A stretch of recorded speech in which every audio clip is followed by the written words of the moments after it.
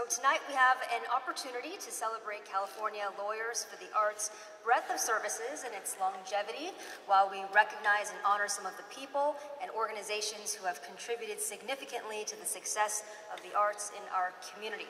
CLA, now 48 years old, became statewide in 1987 when Bay Area Lawyers for the Arts joined forces with VLA LA. Now, many of you know that CLA provides legal counseling for artists and arts organizations, dispute resolution services to keep people out of court, and a stellar youth internship program called Spotlight on the Arts.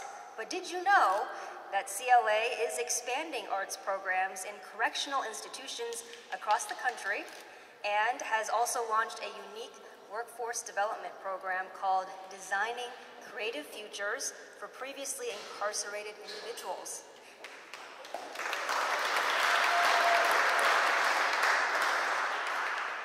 Tonight we celebrate CLA's success and longevity in thriving as a statewide organization with local and national impact. In fact, we are so fortunate that CLA's founding executive director, Hamish Sandison, traveled from Wales to be with us this afternoon and present our first award. Hamish has a global reputation in IT law, intellectual property, arts law, public procurement, data protection, freedom of information, and alternative dispute dispute resolution. Uh, he is a leading member of the Labour Party of Great Britain and has held numerous front-rank positions during his political career in the UK. So let's welcome Hamish home to the Bay Area.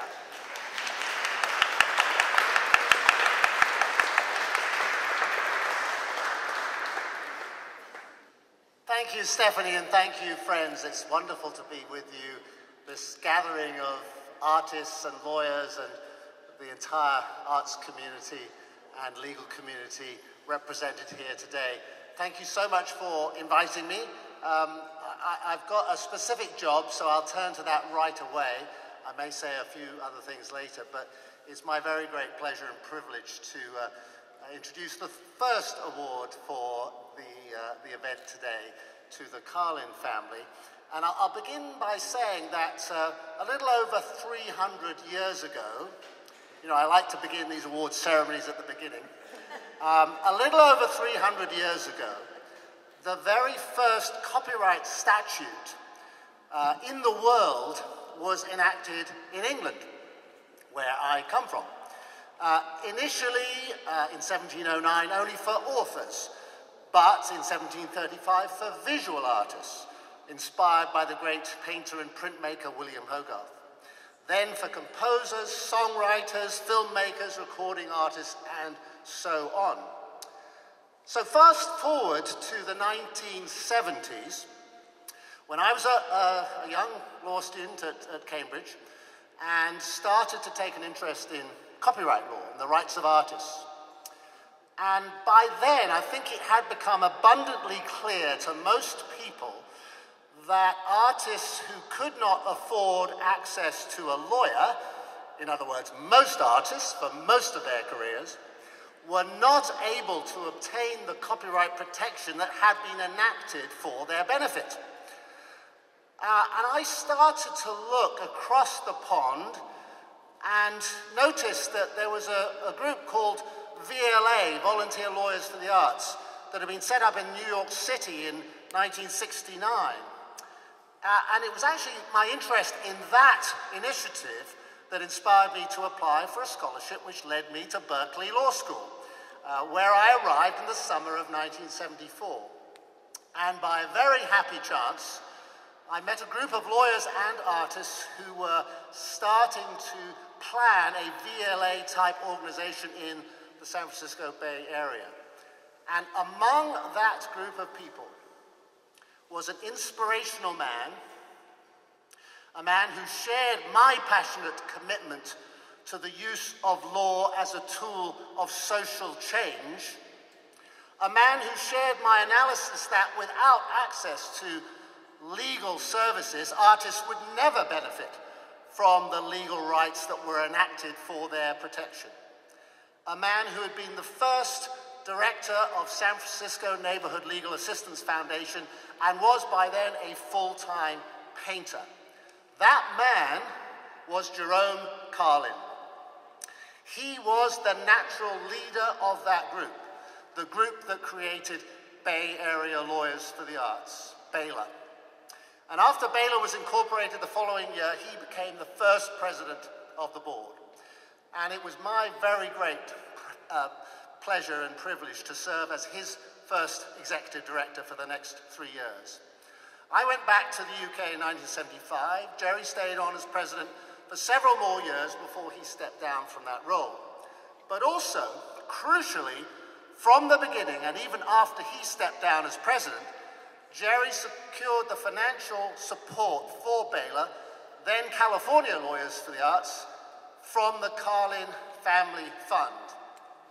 Now, sadly, Jerry is no longer with us, but his spirit lives on in California Lawyers for the Arts. But happily for us, members of the Carlin family are with us to help celebrate Jerry's legacy. Nick Carlin is here, a noted arts lawyer and performer, currently playing the cello professionally among all his other artistic activities. Nancy Carlin, yeah, give a, give a wave. You'll come up to the platform shortly. Nancy Carlin, a noted actor, director, teacher in the Bay Area. And, of course, Joy Carlin, Jerry's wife of 59 years, star of stage and screen, and a leading theatre director.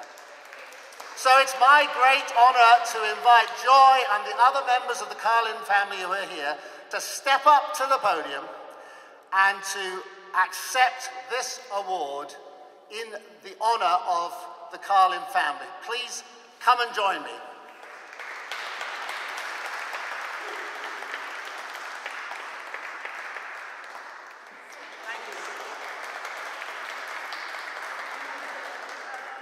Well, I think at some point, I, am in the theater as my daughter is, and uh, I, I said, uh, well, what do artists, painters have uh, that what we have, which is uh, an Actors Equity uh, organization. And I think that that inspired Jerry to say, uh, yeah, we don't. We don't have anything like that. Why don't we? And I think that that was the spark that lit the light for, uh, for the, this artist group, which you are all a part of now. So, um, so I feel very much a part of that too, being that kind of a unionized person. I think it's a great idea. Okay, uh, yeah, okay. Thank you, Joy.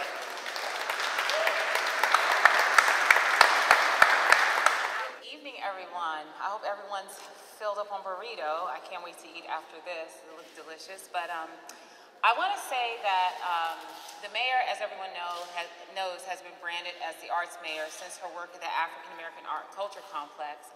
But very similar to her, and one of the reasons why we became friends many years ago is I too um, is, am steeped in the arts. I was a performing artist for many years. I have so many things in common with Hamish, um, one of which I lived in the UK where he lives now, and I told him I performed in Merthyr Tydfil in Wales, which is not many times I can tell someone that and they know what I'm talking about. Um, but as a working artist, as a singer-songwriter, I, at the time, there's no blueprint to being an artist. When you start out, you're so busy and so consumed with creating that you barely have time to know about how to read your contracts, how to get health care, how to get your royalties, what are royalties. And so organizations like California Lawyers for the Arts are so powerful because they help artists navigate all these atypical things that many don't learn in school. So I want to say personally to Hamish, as I read this proclamation or portions of it, I won't bore you with the whole thing, um, that I thank you for your service. I thank you for being a part of this movement to empower artists with the services provided by California Lawyers for the Arts.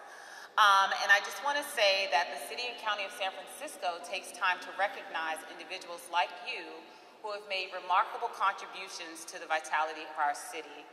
Um, and the incredible work that you've done that truly represents San Francisco's values um, at their best. So a little bit about Hamish, um, in addition to what you've already heard. Hamish's outstanding contribution to the arts community of San Francisco Bay Area as the co-founder and first executive director of Bay Area Lawyers for the Arts from 1974, a nonprofit which similar to uh, as California Lawyers for the Arts continues to provide free legal services to artists and arts organizations throughout the state of California. That's very powerful. And so today, the mayor wanted me to deliver this proclamation on her behalf and proclaim that she, Mayor London Breed, on behalf of the City and County of San Francisco, make April 30th, 2022, Hamish Sandison Day in the City and County of San Francisco.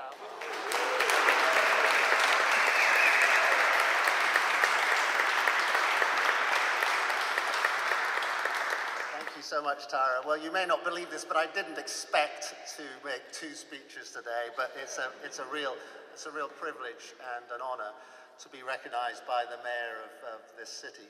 Um, and I feel a bit diffident about um, accepting it because my part was easy in, the, in those years, in the 70s. Uh, and those that kept this organization going in the following years had the, had the hard part. And I, and I say that because back in those days with Jerry and others, we enjoyed very favorable circumstances. And I just wanted to mention those because I think, I think they're still relevant. Um, it's always easier to start a new organization. You know about the private foundations that provide three years of seed funding, and that's great. It's what happens after the end of the three years that's, that's challenging. Um, but of course, I also benefited from the inspirational leadership of Jerry Carlin during those years, which I've already referred to, and very favorable political circumstances. I mentioned two things in particular. Um, they both Go back to the war on poverty of LBJ. How many people talk about that uh, today? Uh, well, some of us haven't forgotten about it. The idea of equal access to legal services for all, uh, the idea of public support for the arts, which led to the creation of the National Endowment for the Arts and National Endowment for the Humanities. And those two public policy assumptions in the United States came together to underpin the case for, for BALA in the 1970s that everyone, everyone has a right of equal access to legal help, even if they cannot afford it. Uh, and that includes artists, and that the state has a role, federal and state and, and local, in securing that equal access. And, and secondly, that art does deserve public support as well as private patronage, art and artistic activities from the federal government, from the state government, from the local level. Uh, we also had the president of VLA in New York, which I referred to earlier, um, and they were able to show that every dollar, this is something for arts funders in the room to take note of, every dollar spent on BALA then was multiplied 30 times in terms of the value of the volunteer services provided by the attorneys. So that's a hell of a multiplier and a great return on investment. So funders should be aware of that. Um, and I believe that those things that I've just mentioned are still true today, but I'm not sure that the political support we had in the 70s is still there today. You will tell me whether that's true or not, and if it's not true, we've got to fight to get it back. So I would say to the politicians who are listening today, uh, there's no point enacting artists' rights or performers' rights uh, copyright at the federal level, resale royalties at the state level, or other rights at the local level, without supporting the organizations like CLA, which will enable artists to enforce those rights. In other words, no point willing the end without willing the means.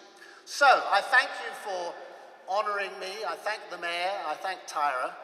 Uh, but I salute those who have followed. Uh, the boards of directors, the volunteer attorneys, the staff, especially Alma, uh, the, the, I, I, I, salute the Carlin family, as I've already uh, done, who have kept uh, California Lawyers for the Arts going in much more challenging circumstances than I faced 48 years ago. And speaking of 48 years, uh, my partner and I, Edwina, came over for this event to learn it was the 48th anniversary, and it occurred to us that we should start planning the biggest and best party ever for our 50th anniversary. Thank you all very much.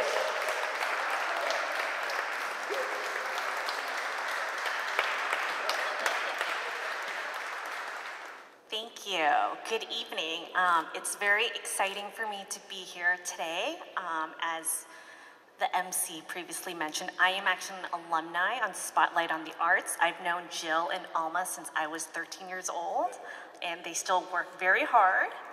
Um, so, and it's also very exciting because I get to present this next award um, to one of my members. So the Chinese Cultural Center is an arts anchor rooted in Chinatown with the mission to uplift underserved communities and be a voice for equality through arts and education. They are dedicated to presenting bold art at the intersection of social transformation and community impact. As leaders in the community, they play an important role to nurture young voices of color and the next generation of cultural leaders in the arts. CCC's Weed the Future initiative champions the role of arts in community recovery, social justice, and equity. Young artists and youth play a big role in their work to change the narrative and champion their own stories through their communities. In the museum field, where leadership is 90% white and male, this is especially important to build equity in the arts and our next generation. So now I would like to welcome up board member Michael Moon and deputy director Eleanor Fernandez.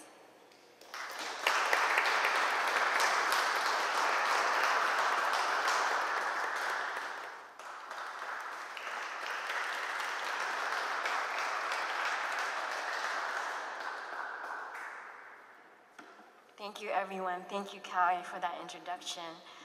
Chinese Culture Center is so honored to accept this award and is proud of our team of strong Asian American women leaders. I had a squad of really strong females there, and I want everyone to know that. So, California Lawyers for the Arts and the Spotlight program is very important to CCC. For over 10 years through this program, we have nurtured youth to learn about arts and community, and through that, become empowered to be stewards of and a bold voice in our communities. As a long-standing organization, CCC understands our future hope is in our youth and next generation. Our chief curator, Hoi Leung, was an alumni of this program and also a Lowell High School alumni, as well as myself, and we are grateful to CLA through a combination of art experiences, she has gained the tools and experience to be a strong Asian American voice and strong curator of color. We are proud to partner with CLA to uplift underserved communities and be a voice of equality and see the need for more opportunities like this in San Francisco and the Bay Area and to build the next generation of diverse leaders and to nurture young people and those who are multi-talented from immigrant, working class, diverse backgrounds to have different opportunities and experiences. We'd like to invite everyone to come to CCC to see our exhibitions, public festivals, artists in residence, and youth art programs in the fall. Thank you, CLA, for this incredible honor.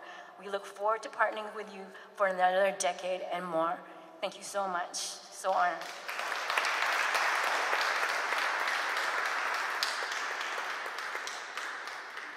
Founded in 1982, Adobe is one of the largest and most diversified software companies in the world.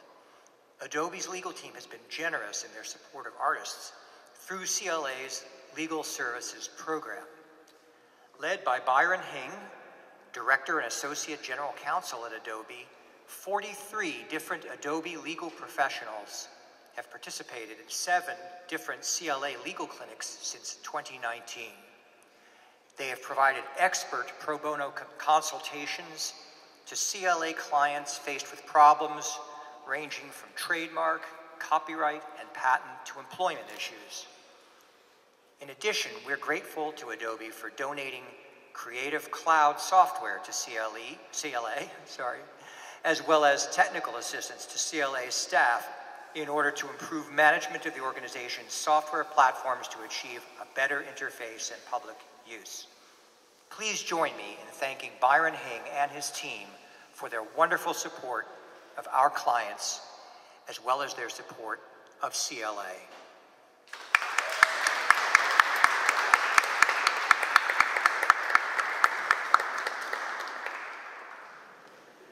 Hey everyone, so thank you so much for just this honor and this award. Um, on behalf of Adobe, I want to say thank you for just the opportunity to partner with such a great organization. And as I sat here tonight and just reflected upon everything, you know, from founders to kind of over the years and just, the, just how much of an impact this organization has had, I just felt really lucky to be able to be a part of it, right? And I think I can speak for the whole Adobe community when I say that. I think Adobe in general really cares about creatives and artists in general. I mean, it's our, it's our um, desire as a company to help empower everybody to tell their own story. And uh, we're just grateful to be able to work with an organization that's done so much good for artists, and, that, and we look forward to partnering with you for many years to come. Thank you.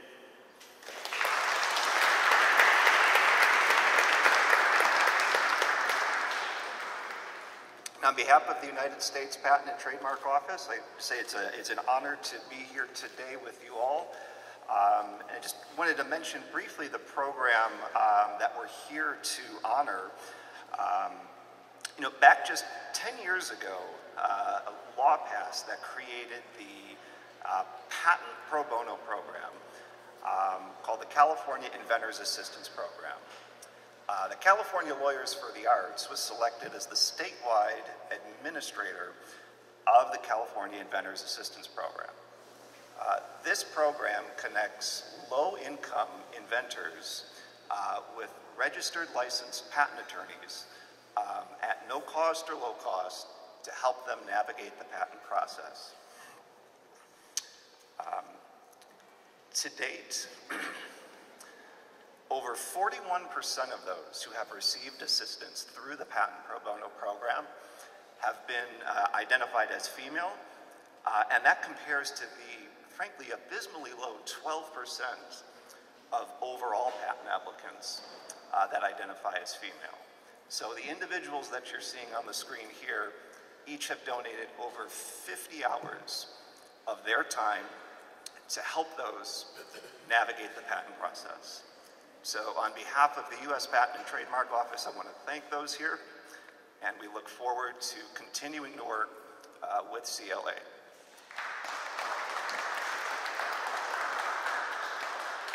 Thank you, everyone. Thank you, thank you. Um, it's a pleasure to be here. Uh, great to uh, be in this esteemed group of folks. Uh, and um, it also uh, brings me back to um, my former life when I was a political, I was a city council member in the city of Minneapolis. So uh, to present this award to Supervisor Mandelman tonight is an extreme uh, pleasure and honor for me and humble to do it. So my name is Ralph Remington, as, as stated. Uh, I'm the Director of Cultural Affairs with the San Francisco Arts Commission. And it is my distinct honor to be here with the California Lawyers for the Arts this evening for the 14th Annual Artistic License Awards and to present this next award. Since stepping into this role a year and a half ago, I've had the pleasure of uh, working closely with the recipient of this next award on numerous occasions, and I commend them for their leadership and support of the arts, not only within the district they represent, but across San Francisco. Their accomplishments are many, but some wonderful achievements to note include their continuous advocacy and funding support of LGBTQ arts and culture organizations and projects, authoring legislation to create the Castro LGBTQ dis Cultural District, and declaring the Lesbian Gay Freedom Band the official band of San Francisco. They are also committed uh, to expanding the number of LGBTQ cultural sites included in our city's list of historic landmarks and has pushed for new and innovative ways to showcase the arts, including activating and showcasing art in vacant storefronts. They are an adamant supporter of the new Conservatory Theater Center's Youth Aware program, work, working to promote uh, health and wellness education in schools to build awareness and understanding of equity and inclusion, and has successfully restored multi-year city funding for various arts programs, including CLA's Spotlight on the Arts. Supervisor Rafael Mandelman has worked tirelessly to support the arts, not only just within District 8, but citywide. And for that, we thank you for all that you do and all that you continue to do and all that you will do in the future. So congratulations, Supervisor uh, Mandelman, and we are honored uh, to present you with this award.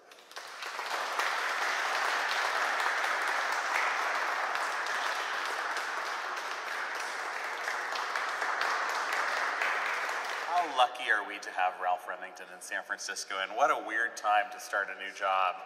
But, um, but, but thank you for being here. This is so cute. Little license plate. Um, well, I, I think I, I, we're nearing the end of the program, so uh, folks are going to be able to go back to enjoying each other, and I won't talk for too terribly long, but I do want to just say um, a, a, few nice things about, about Alma Robinson, um, who has been um, someone who I have admired for like, I think 20 years at this point. Um, uh, I, am getting older. Um, we're all getting older. Um, and just, I'm, I, I have seen the good that Alma has done in the world and her other half, Toye, um, at California Lawyers for the Arts in Alma's case and in all sorts of ways uh, for Toye. And um, you two really are a gift to San Francisco and the Bay Area and the world. And so um, I'm, I'm incredibly honored to get this, but I also am honored to be able to say some nice things about you. I think, Calif I, I, think um, California Lawyers for the Arts is one of those organizations that does so much more than anyone knows. I mean, I've been aware of some. I mean, the name suggests some of what you do.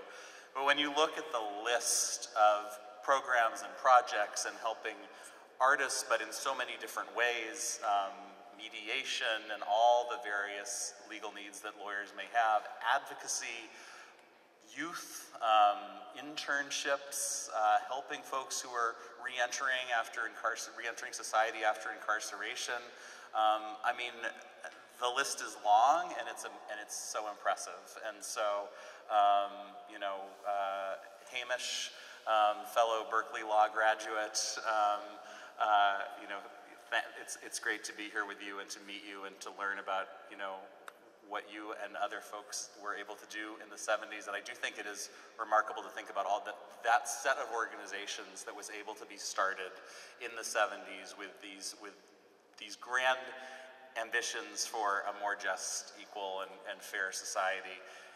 And to Alma and the others who have managed to keep that work going, um, as Hamish was saying, we're so grateful to you. So I love it. Thank you.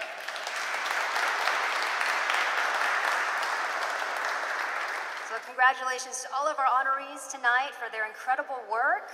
Um, also, a shout out and thank you to our um, musicians, Jack Bowers and Reggie Austin, for that wonderful performance earlier today.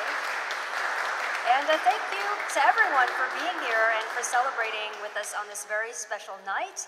I'm going to turn it over now to Alma and Gloria for some closing remarks. Um, please join us in congratulating them once again.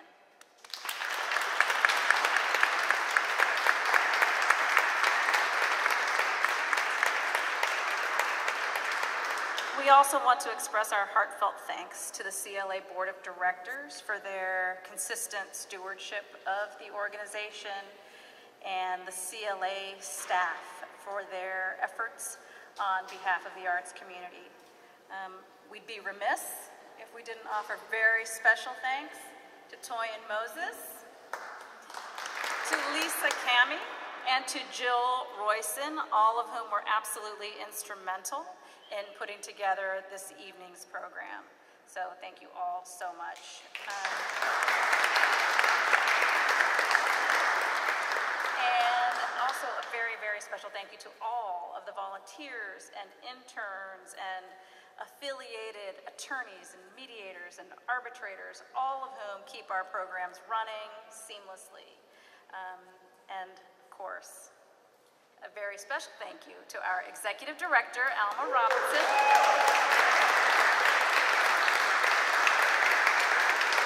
whose clear vision and passion for the arts has established California Lawyers for the Arts as a national model. Thank you, Alma, for everything.